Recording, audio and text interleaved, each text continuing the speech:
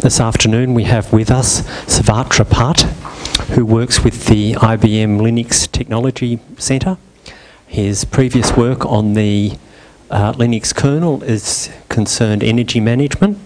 His present work is on redesigning the CPU hot plug uh, infrastructure and making it uh, more common across different architectures, which is the topic of his talk. Thank you. Thank you. Hello. Uh, can you hear me? Thank you. Uh, so I'll be talking about uh, CPU hot plug and uh, some of my work related to its redesign to improve uh, uh, its efficiency and the way it deals with the rest of the system. So this is what the agenda looks like. So I'll be giving a brief introduction to what is CPU hot plug and uh, where is it used and why is it important. And then I'll give a brief overview of uh, the design of CPU hot plug and something known as stop machine, which is a pain point of today's CPU hot plug design. And then I'll discuss uh, my implement my design for uh, removing stop machine from CPU hot plug and thereby improving the performance of CPU hot plug as well as uh, uh, the workload latencies uh, of the tasks running on the rest of the CPUs. And then I'll share some experimental results from my patches and then I'll discuss some other issues that CPU hot plug faces today and what we can do about them. And then briefly touch upon what we have for the future and uh, how all this work uh, benefits the end user. Okay. So what is CPU hot plug? Uh, literally it means plugging and plugging out CPUs uh, at runtime. Uh, if you split up the words hot and plug. But then uh, that then you get into the issue of is it really uh, are you really physically plugging out CPUs or are you only doing it logically? So the thing is, even if you want to physically pull out CPUs, uh, CPU sockets, uh, at runtime, you'll have to tell the OS to get rid of all its dependencies on the CPUs, right? It would be running tasks and stuff. It has to save the state somewhere so that you can actually power it down and remove it out, things like that. So logical hot plug uh, precedes physical hot plug. And, and as you can expect, physical hot plug, nobody actually does it uh, very frequently. I mean, it's very exotic, right? So, but logical hot plug is used in many cases, uh, in many common cases. I'll come to that, and it's pretty useful. And uh, basically, what it means is you tell the operating system to stop depending on a CPU. You basically don't use it anymore, or start using as if a new CPU just appeared out of nowhere, right? That's what it means in a simple view. So let's see what a hot online operation looks like from a scheduler's point of view. Initially, you perform the architecture specific uh, init sequence on that CPU as if the CPU is new. And then you enable interrupts on the CPU and then uh, you tell the scheduler that, hey, look, there's a new CPU you can actually use.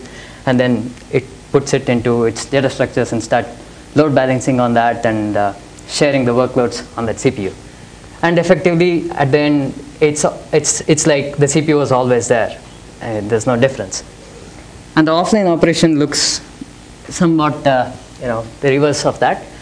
So CPU might have been running some tasks. You have to migrate them away to other CPUs, uh, save the state somewhere, and then tell the scheduler that you're going to uh, uh, need that CPU to be offline. You don't want to use that anymore. And then uh, don't use it for load balancing. And when you don't have anything to do on a CPU, right, you're not running anything, it can actually go to a low power idle state, right? So then you can choose to do anything you want with that. So that's the end of logical hot plug. Then you can physically power it down and pull it out or whatever you want. But then that low power idle state, uh, that's the end of logical hot plug. That is a useful operation. I'll come to that. Why is it useful? So uh, an offline CPU enjoys peace, basically. So you can have a CPU doing nothing and it will be idle. But then an offline CPU has some extra benefits in that it will never get interrupts, it will never have timers running, no wake up events from anywhere because the OS thinks that it's not there, right? And then any pending work was already migrated to some other CPU and there won't be any future work too, right? So it's basically uh, uh, doing nothing. It has a deep quiescent state. So this can be potentially used for uh, long idle times. I'll come to that later. And one of the uh, key things about CPU hot plug is that many kernel subsystems are involved, not, the, not just the scheduler. Usually we attach CPU with the scheduler and that's about it. But that's not true because uh, we have something called a CPU online mask. It's a bit mask of all the CPUs that are online. So when you do hot plug, the mask changes. You flip the bits. And there are many kernel subsystems that you know, uh, do a for loop on that mask and take actions based on that. So everybody who has to use that mask to do take decisions or actions uh, need to cooperate with CPU hot plug. It should be aware of CPU hot plug.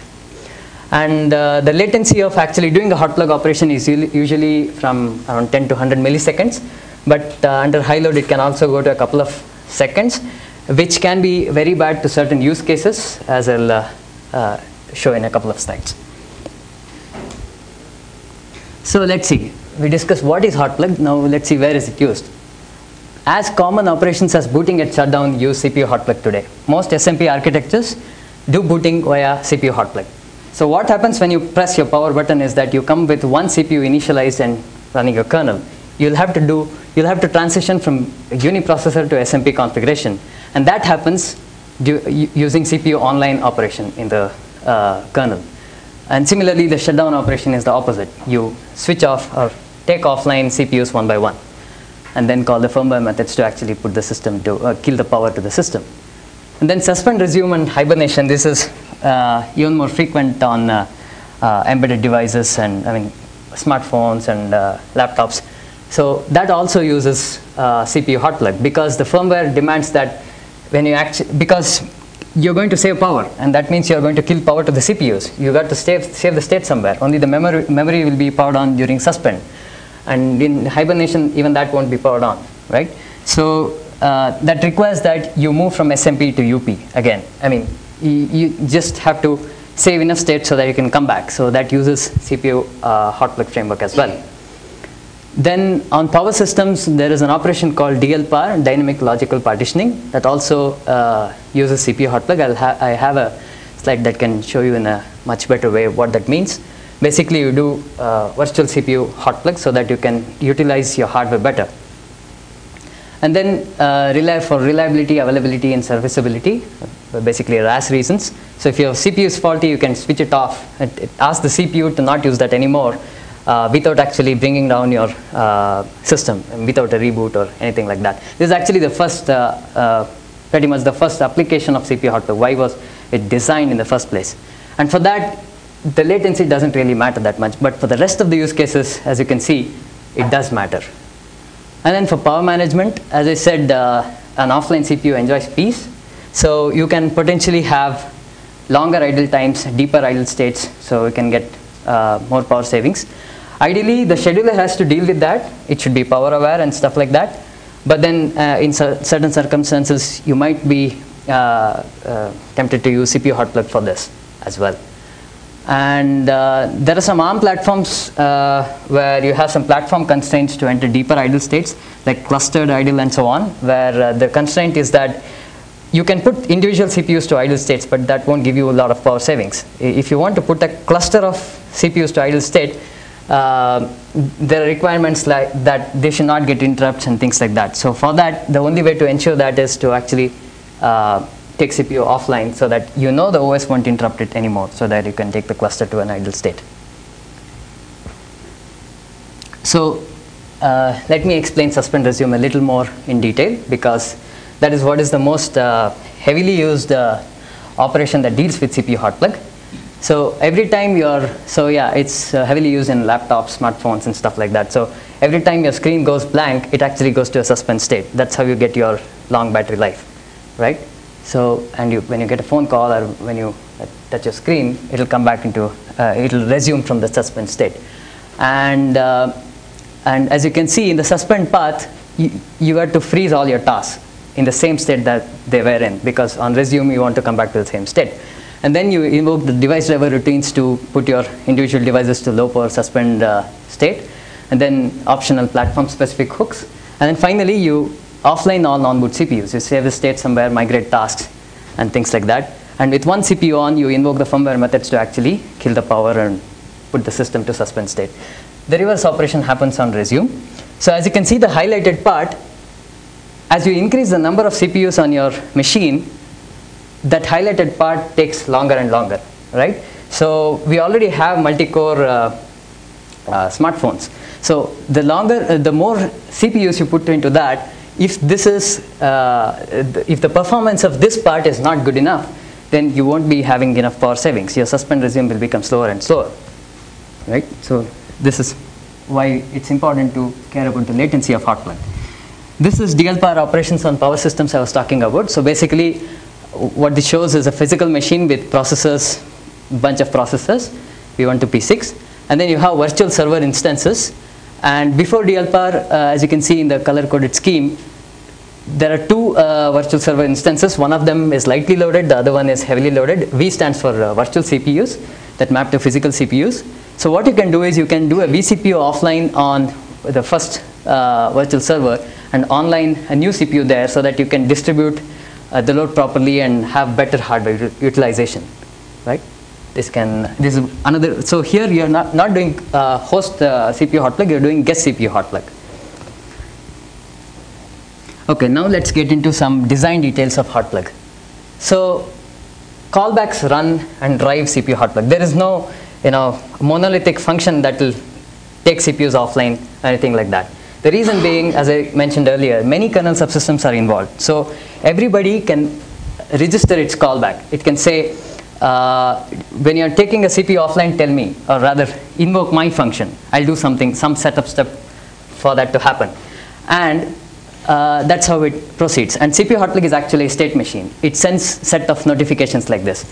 Basically, it calls uh, callbacks of every uh, kernel subsystem that is interested with these the parameters like CPU up prepare, CPU starting, CPU online, and things like that.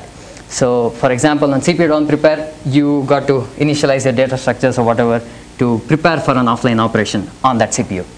So how it so it actually looks something like this. You have a CPU hot plug core code that invokes uh, the individual callbacks with the notification, and then uh, so as you can see, for example, scheduler has a callback that has been registered with CPU hot plug core, and it will do something, and that something is specific to the scheduler in uh, scheduler for this uh, example. For example, it stops load balancing on that CPU in preparation to take, take that CPU offline. Similarly, say for example, CPU frequency driver stops managing that CPU and so on.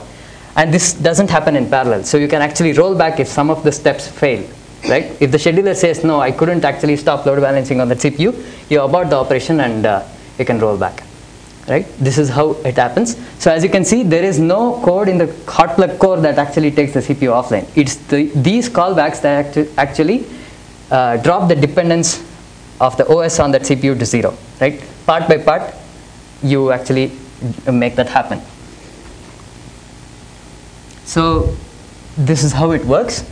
Uh, that's user space. You can actually try it on your laptops and desktops. You can echo 1 to the online file that will bring a CPU online. If you echo 0, it will go offline. So what happens is the very task that did that, it will acquire the CPU hot plug lock, which is a mutex, and then invoke the notifiers in succession. And then in, during CPU starting, you actually uh, do the init sequence on the CPU and finally release the lock and your CPU is online.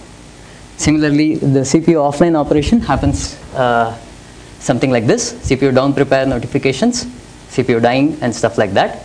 Uh, one of the things to note here is that the CPU dying notifiers runs uh, in the context of stop machine, the one I was mentioning earlier. I'll deal with this in more detail. So uh, the thing to notice here is when stop machine is running, every other CPU is running with interrupts disabled. They're basically spinning, which is a bad thing. So how this particular step looks like is shown in this. Doing, stop, uh, doing CPU offline using stop machine. So stop machine, when you invoke a function with stop machine, what it does is it starts high priority per CPU stopper threads on every CPU, including this CPU. So what I'm depicting, depicting in this uh, diagram is that I'm, I want to take a CPU offline, CPU 1, and you have a bunch of other CPUs on the system. So basically you run high priority threads on everybody, and then this CPU, the one which is actually going to go offline, waits for uh, that particular synchronization point where every CPU has come to that point, stop machine disable IRQ, and they're basically spinning with interrupts disabled. And then he runs the stop machine run uh, part of the state machine and invokes the CPU dying notifiers mentioned here, this one. So all throughout this uh, duration, the rest of the CPUs run with interrupts disabled, no matter how many CPUs you have, right? You might have 10 CPUs, 20 CPUs, all of them runs with, uh, run with interrupts disabled. And as I mentioned earlier, the hot plug uh, latency can be quite high, uh, milliseconds, 100 milliseconds, or even up to a couple of seconds. And you're doing nothing. That's why it's called stop machine. Basically, the entire machine is stopped. No interrupts means no work done, right? And then you have a synchronization point after this where you're done with hot plug. At this point, you're actually offline. And then the rest of the system will continue. Okay? So this is a bad design because stop machine is really bad for workload latency. You might be doing something important, you, you might be running a user space. Just to take one CPU offline, you stop every CPU on the system and uh, basically do nothing for that entire duration. So this is what I try to uh, fix. And uh, to give an example of the bad effect of stop machine, this is what it looks like. I ran this on a Power 750 uh, machine with uh, 128 CPUs. This shows the number of online CPUs, not the number of CPUs I'm taking offline. I'm taking only one CPU offline and I'm measuring the average latency, how much time it takes, right? So as you can see, uh, it's actually lower the better, right? So it's in milliseconds. So as you increase the number of CPUs, the stop machine stage takes longer and longer and you go to hundreds of milliseconds. And this is average latency, not the worst case latency. Worst case can go to a couple of seconds. And while all this is happening, the machine is stopped, no interrupts uh, are being serviced. So uh, my redesign of CPU hot plug without stop machine looks something like this. It doesn't depend on the number of CPUs. You put any number of CPUs, it's the same. Uh, to begin with, it's exactly half of what it takes on a usual operation. And better than that, it doesn't. It scales well with a number. It's actually lower the better. So it's a latency. So any number of CPUs, you don't have to worry about your hot plug uh, duration, right? And that doesn't use stop machine. So that's an in incentive to uh, see what is that design that replaces stop machine. So before that, uh, let me get into some locking consideration. This is all about locking and uh, synchronization. So let me get some terminology straight. So uh, we have something called hot plug readers and hot plug writers. So if you do that echo 0 or 1 to that online file, you're actually doing hot plug. But there might be other cases where you're say traversing the CPU online bit mask and you don't want hot plug to happen. You don't want that bit flip during that critical section. Those are the hot plug readers. They prevent CPU hot plug. There are APIs that can help you do that. Uh, get online CPUs, put online CPUs. It's like a ref counting mechanism. Uh, but the point to note here is that it's a blocking synchronization that takes a mutex lock, so it will sleep if it doesn't get the lock, right? But then, uh, what else? So reader cell locking is recursive, you can call that uh, recursively, and until the ref count comes back to zero, the writer will not proceed. So there is a way to say, don't do hot plug when I'm doing something important. And uh, yeah, writer side locking, only one guy can do a hot plug operation at a time.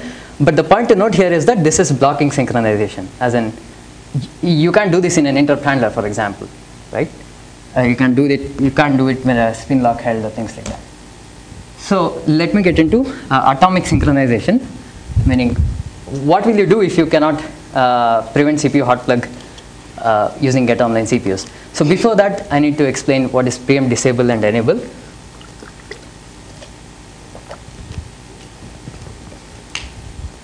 So Linux uh, supports uh, kernel preemption. So a kernel task can actually be preempted if you have something more important to do. And uh, if you don't want that preemption to happen, you need to enclose your uh, critical section with preempt, disable, preempt, enable. Those are very heavily optimized uh, operations. They are CPU local. You can think of it like CPU local. I mean, uh, it's like a per CPU counter being incremented and decremented. And hence, uh, it's really, really fast. And the cool thing is there is no lock held. You don't hold a lock to say, uh, don't preempt me, right? That's a good thing. So on a first note, you might be surprised, why is this related to hot plug?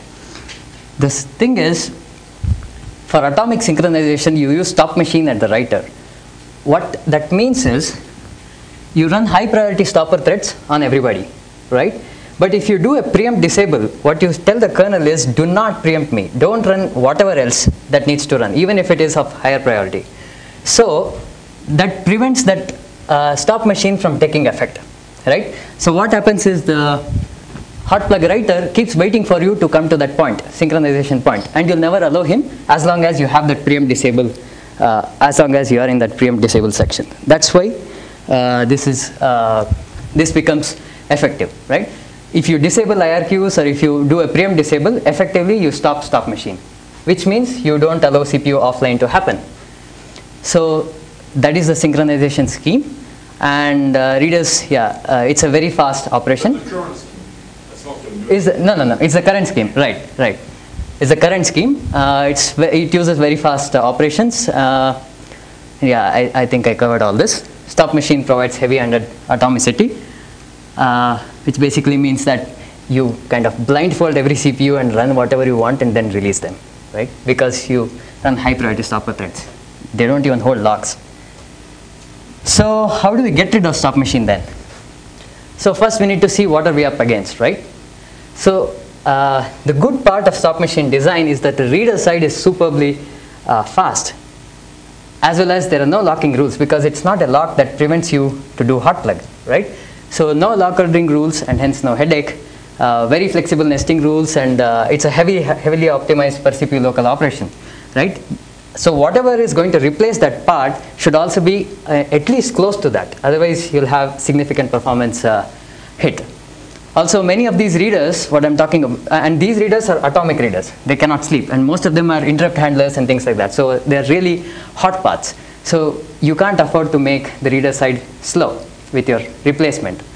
And uh, yeah, some of the readers like SMP call function, it, it calls, so SMP call function uses preempt disable, preempt enable because it's a function that can run a given function on many other CPUs. You give a mask, it will go and run it there. It doesn't want to, you know, uh, race with hot plug, so it does preempt disable, preempt enable. Now, if I'm going to enforce new lock ordering around such a exported symbol, then I'm going to have issues converting the kernel over to the new model, right? Basically, it will be impossible. So we don't want new locking rules. We want to be very fast in the reader side, and we need to be flexible. We need to have cool nesting rules. I mean, no nesting, uh, very flexible nesting rules. So we can't use straightforward synchronization schemes like this because, uh, say for example, this is a, this clearly separates out into a reader-writer semantics. So why not use a reader-writer spin lock? Uh, uh, so the problem is, suppose you have a reader-writer global lock to do this. What happens is, suppose you're not doing hot plug. Like for example, we're not doing hot plug anywhere, right? So what happens is you've got to take that lock for read and uh, release that lock for read on the very hot paths. And that happens even when you're not doing this and that leads to a lot of unnecessary cache line bouncing, right? And uh, yeah, the, the worst part is you get a bad system performance even when you're not doing CPU hot plug. So you cannot use global reader at lock. But the beauty of global reader lock is that there is no problems with deadlocks. You won't end up in new deadlocks because you just have a lock. So uh, it's pretty convenient. So the logical choice is to move to per CPU reader locks. What if we have per CPU uh, reader locks and have a straightforward scheme in the sense that uh, if you're a reader, you take your local uh, reader lock for read and go ahead, and the writer will take everybody's reader lock for write and only then proceed. The problem is that you'll get into new non-existent deadlocks. Uh, I have charts to show that uh, if uh, anybody is interested. You get into new lock ordering, uh, uh, circular locking uh, dependencies between the entities and that won't be a viable solution. so yeah, so lock ordering, whenever you enforce new lock ordering, you cannot compete with preempt disable, right? So, and it'll basically become impossible to use this model. So I designed a new synchronization scheme that uses the best of both. So basically, global reader, lock, uh, locks provide deadlock safety, but lack of performance uh, in the hot path. Per CPU variables instead of per CPU locks, if you use per CPU variables or ref counts, uh, reference counters, it provides performance. So what you do is you differentiate hot plug into two paths, fast path and slow path. Fast path means you're not doing hot plug, just like my laptop now, right? So all the critical sections in the reader side can use per CPU ref counts, right? In the fast path, you use the per CPU ref counts to keep track of your nesting depth of the uh, read side critical section. And when you're actually doing a hot plug, you use the slow path, which is using global reader-writer locks. The beauty of which is that there's no deadlock uh, problems. There's no circle locking, none of that will happen. And this is, you're, you're going to do a dynamic synchronization switch between these two when you actually start a hot plug operation because um, why are you not using? Sorry? RCU. Yeah, RCU, the problem is the writer, these parts of the writer are uh, uh, atomic. You cannot call synchronized sched at that point, but you can call it before that, right? Uh, you, if you call it before, Yeah, Can't can't you uh, because, because plug is a state machine, uh, can, can, can you simply use an grace period between the different phases of CPU output? So the writer between essentially becomes delayed uh, by uh, grace periods, and so the readers can remain basically preempted or, or whatever, or as, simple as an read lock, uh, read yes, but the problem is, uh, You get a higher latency on the output operation, but you keep keep not having a stop machine anyway. yeah, Yeah. That's I- true. I, I, I've seen the decision at KML and people aren't too happy with yet a new looking primitive in the kernel. Uh, so that, that's. that's true. But the problem is, uh, you cannot run uh, synchronized sched at this point because you, you cannot block at that point. So you can do it before that. But the problem is, as a, Block, you run asynchronously. You- Uh, as in? Machine. So you, you run the notifier for prepare, you call RCU, and later on you, you run the dying notifiers. Yeah, that's what I meant. I mean, before dying notifiers, you can do a. You, you don't want to do a synchronized sched. You will do as you read. You don't do a lock on synchronized reader side. CAD, you do a delayed RCU callback. Okay. But then the problem is, the problem is uh, with this one.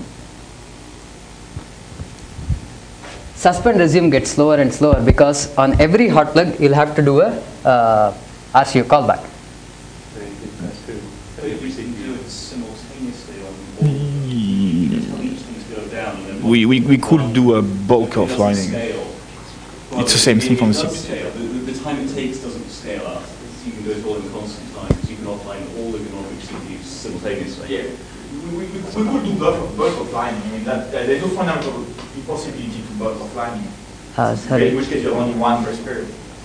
So, yeah, i- i- i- there is no fundamental reason why you can't offline in bulk. I mean, from a scheduler perspective, it's pretty easy. So that would mean you would have a single RCU grace period, which isn't Yeah. too bad. I mean, you, you, your right. case, you were uh, uh, showing you were still about 10 millisecond latency.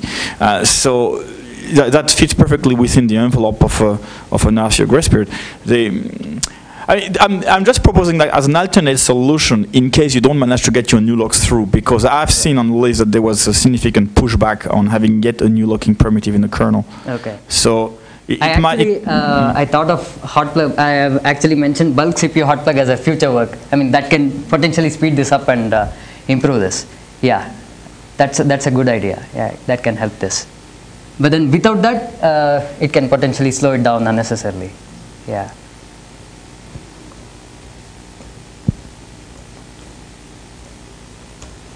Where were we?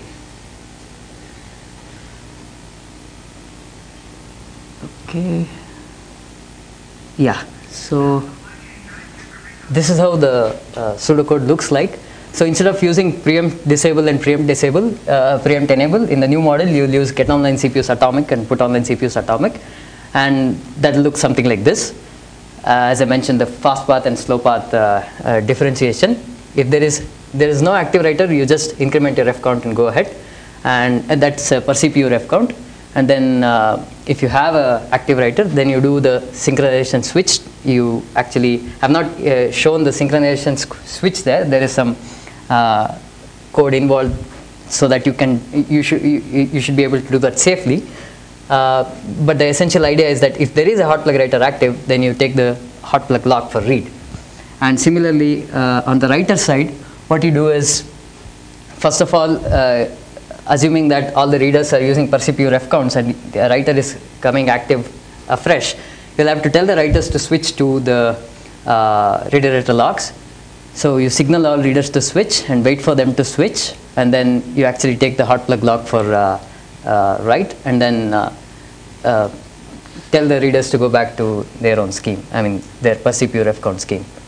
It's a, it's a heavily biased rebuttal, but it's not the first time we want something like that. The, the, the need for such a construct have been coming regularly where we have something where we want the read log all the time everywhere and we write every 36th of the month uh, and every time we've essentially turned doing things differently using typically either RCU or, or kernel thread or something. Yeah, there's actually something similar to this in the VFS right now for, I think it's protecting superblocks against unmount. We, we, we have some kind of similar heavyweight, uh, heavy, heavy read bias lock. So you might want to take a look at that code and see if you can use the same locking scheme that they're doing. Okay, thank you. And then, yeah, I already mentioned this. This is what it looks like. It doesn't depend on the number of CPUs, so it scales well. Uh, the latency is low, and uh, yeah, that's about what I had with the new design. So these are some other issues and challenges with Hotplug. Some of them solved, some of them unsolved. Uh, creation of uh, per CPU K threads on every online and destruction uh, during every offline. Uh, this was a performance challenge, uh, taking a long time. But then uh, Thomas Gleixner solved it by introducing the K-thread park and park infrastructure. What it means is you don't destroy and create K-threads anymore. You just stop them and start them. Uh, it's already in mainline. Um, and stop machine is bad, as I just explained, and uh, it hurts workload latency. And uh, this design, what I proposed, um, can solve that potentially. And uh, there is also some um, um problems with callback driven process. This entire thing is callback driven. Uh, so you don't have a global view of the ordering of things that happen and you can potentially get uh, the priorities and notifi notifiers wrong. And there have been plenty of bugs in that area. So Thomas Gleixner proposed that uh, we can have callback free CPU hot plug in the sense that you just put all the code together and uh, run it so that you can actually um, um, you know have a view of global view of what is happening one after the other but uh, has not been, uh, I don't think he has posted code to do that. Uh, so this is what the future looks like. You can get rid of the latency problems of Hotplug uh, using the uh, design I proposed. And then without callbacks, you can run Hotplug for better reliability and uh, look into the Hotplug process. And then uh, Thomas also uh, proposed making the online and offline operations symmetric, which they are not today, so that uh, you can have something like multiple stages of online and offline. Uh, one of the things is that people use CPU hardware for power management sometimes, and that doesn't really go well with the scheduler community. So what he was uh, uh, suggesting is that if we have multiple stages of CPU quiescence, then we could potentially not do this heavyweight operation and make it ugly. So that can potentially help do power savings in a lightweight manner. And then as here, uh, both of you suggested, you can do bulk CPU hot plug for uh, faster suspend resume. And uh, uh, so the idea is that instead of, if you have to take 10 CPUs offline, instead of calling, invoking the callbacks one by one, you send a CPU, CPU mask so that you can do it at a time. And potentially we can use the RCU mechanism at that point to uh, have a better way of removing stop machine. What else do I have? So end user benefits from all this. So on mobile platforms, you'll have better, uh, faster suspend resume, and you don't have to care about oh. You, you, you might want to explain to people what DLPAR is. okay. Yeah.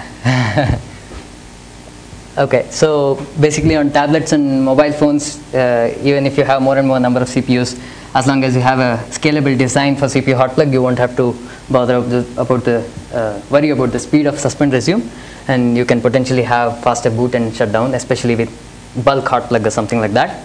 And then you can have better power savings with multiple uh, uh, CPU quiescent states. On server systems, you can do faster DLPAR operations. That's basically as uh, requested this.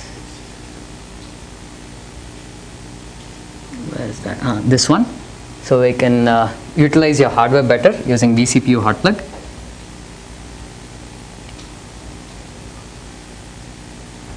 And uh, for RAS, uh, so one of the things is that you want to take a CPU offline, but then you don't want to hurt the workload latencies of the rest of the system. You can do that without downtime and without hurting latency.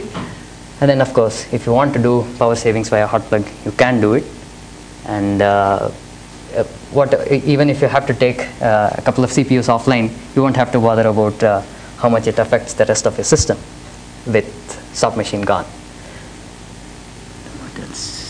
These are the references, some of them from kernel documentation and uh, some papers. And these are links to my patches and discussions. As you can see, I've gone through a couple of iterations of this design. Each of them have been uh, complete redesign of the synchronization scheme. Uh, we have tried uh, multiple designs and uh, currently uh, that's the fifth one, uh, uh, what I have and uh, the results for which I showed in the slides. And this is some other work related to hot plug that I done previously. And uh, I think that's about it. Thank you very much. Any questions? And thank you. And uh, we've got 10 minutes for questions, so I think this will be lively. Um, I just wanted to ask you your sort of future directions. You had bulk hot plug right at the end. Yeah. I mean, Um, I, I didn't actually, this doesn't have to be in a order. Okay. I mean, yeah. Yeah, I was just wondering if there was, because that conceptually seems like it would be easier to do right now for some, you know, except for maybe the impact on the code. but um, in terms of for, for power management or suspend, you just go offline all the CPUs now, please. The, the question with how complex bulk will be is how many callbacks actually are registered. Because if there is uh, 200, they all have to be fixed. Uh, Yeah, if there is that's a dozen, it's easier. So that's I, I don't know. Do, what, what, And the other thing is- do we have today? Oh, way too many, way too many. Yeah. Roughly, how many? Hundreds of them, yeah, Okay. definitely. Yeah, yeah, yeah. And the problem is, uh, it might be, you know, mechanical and trivial to fix them, but the problem is with reliability. What if you fail at that some point and you roll back only a few of the CPUs in the CPU online mask? Now, you have only one CPU to take care of. If something fails, you roll back that CPU. But then if you have a mask, then reliability becomes a bit of a problem to roll back. Hmm. So, Well, I mean, so for, for all intent of purpose, the rollback would require uh, on well, the, the rollback is essentially is a cancel or backup event coming in.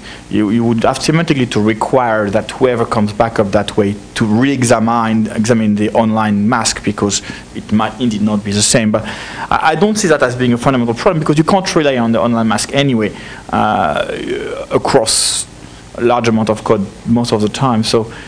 Yeah, okay. But it, it feels to me that um, the bulk thing thing is definitely something that can be pursued in parallel and, if, uh, and a worthwhile thing to do regardless, Yeah. or, orthogonally uh, from replacing uh, stop machine.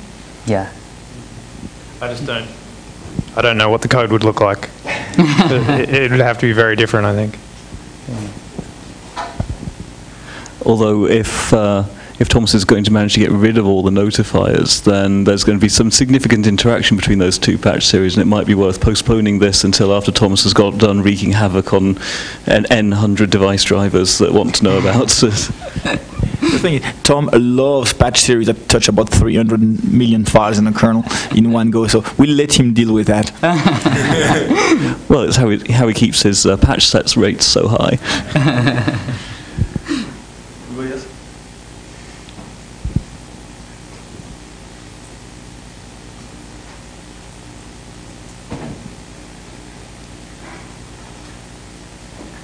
Okay. Thank you for paying attention. Thank you. Yeah.